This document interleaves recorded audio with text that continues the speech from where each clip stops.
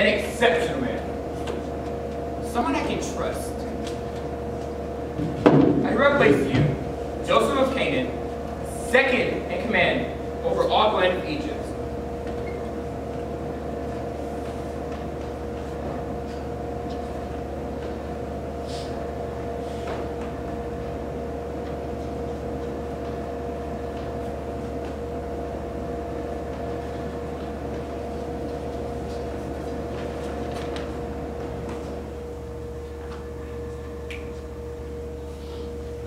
I present to you Governor Joseph of Egypt.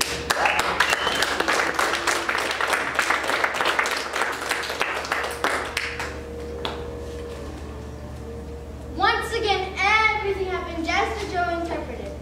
Seven years passed and the land prospered. There was plenty of food, good weather, and the people were happy. Joe, overseeing the land, saved so much food that he had to build buildings just to store it. Then, on the eighth year, it did not rain. Crops started to die. Many people started going hungry. Many traveled from all over to buy food from Joe. The famine was so bad, it reached all the way to Canaan.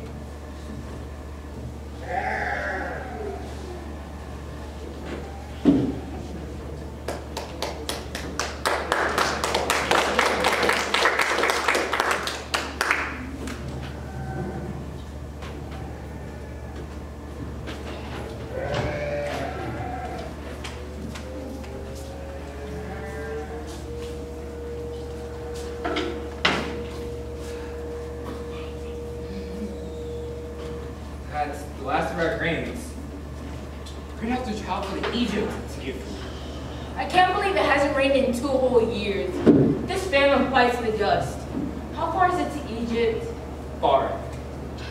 I'll go pack the donkey. Can I go with you guys? I've never been to Egypt before. Road trip.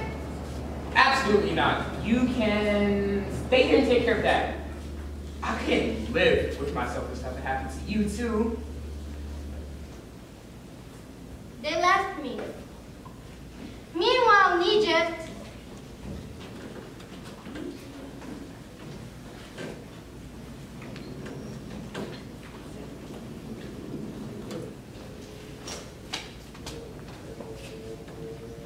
Thank you. You're a generous and kind ruler. You're welcome. Go feed your family.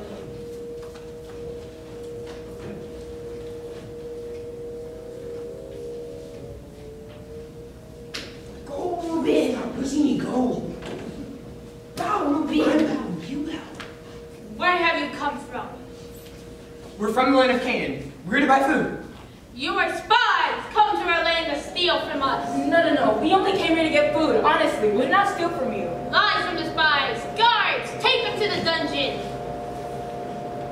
I am 39, my dream has been revealed, and I can see prophecy. Reuben, Simeon, oh how I missed you, my family. My father, if you alive and well? Oh, and Benji, I bet he's big now. How is he? I am not mad at you for selling me into Egypt. It is because of you that I can save thousands of lives. I love you, my family. We were being punished for what we did to our brother Joe. We heard how he told us to get him out of the well, but we ignored him. I told you not to harm Joe. You were so consumed with hate. This is your fault. Wait! Come close to me. I am Joseph, the one you sold into Egypt. Do not be angry with yourselves. I have been sent to help you and all of Egypt.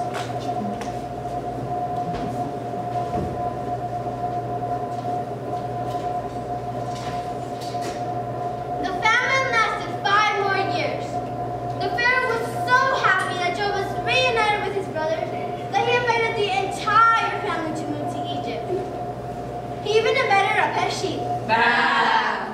And we all lived happily ever after. The end.